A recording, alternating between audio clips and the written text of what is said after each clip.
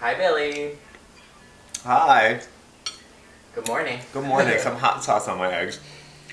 Want to make a really quick video because I had an interesting experience the other day. Going to the post office to pick out these wonderful stamps for our invitations. Fine art, modern art, I'm sorry, from the 1913 to 1931 art range. Um, went to the post office with my friend Pauline and I asked the lady at the counter about getting wedding stamps. They were all out. And the woman at the post office looks at Pauline and she goes, Are you the fiance? And she's like, No, I'm not. Like, definitely not. And we're both laughing, but she didn't seem to care or understand.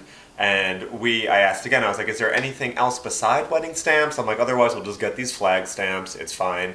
And she looks and she's like, Well, someone wouldn't be very happy if you picked out flag stamps. I know from past experience that flag stamps don't go over too well. And I'm thinking she's talking about guests that receive the invitations.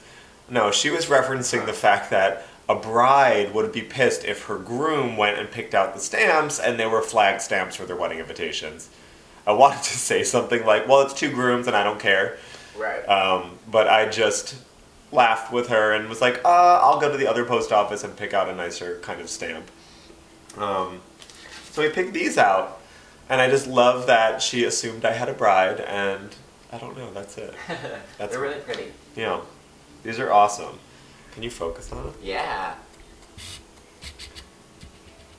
Really interesting. Yeah, we have some really great Man Ray over here, which I love. The only one I'm cautious about using are the Georgia O'Keeffe stamps. Mm. Because if you know anything about art history and Georgia O'Keeffe, let's just say her art was inspired a lot by the female parts. So maybe we'll choose selectively who gets the Georgia O'Keeffe on their wedding invite.